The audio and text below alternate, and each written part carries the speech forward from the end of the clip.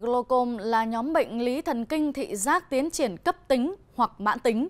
Hậu quả cuối cùng của glaucom là mù loà vĩnh viễn và không có khả năng phục hồi. Ở việc cập nhật cách điều trị mới, tân tiến trong điều trị glaucom là hết sức quan trọng.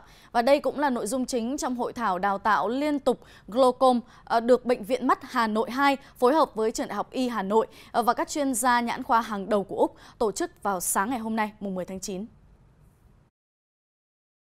Ở Việt Nam, 65% bệnh nhân bị mù hai mắt do bệnh lý glaucom. Đây là bệnh lý hết sức nguy hiểm vì bệnh chủ yếu diễn tiến âm thầm, cướp đi thị lực của người bệnh.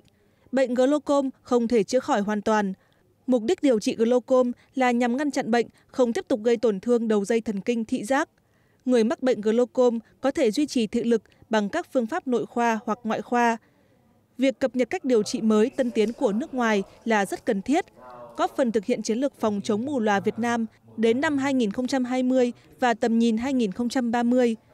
Tại hội thảo, các chuyên gia nhãn khoa hàng đầu đến từ Úc và các chuyên gia của Bệnh viện Mắt Hà Nội 2 đã cùng trao đổi những kinh nghiệm, hiệu quả của các phương pháp điều trị glaucom hiện đại nhất trên thế giới để áp dụng tại Việt Nam.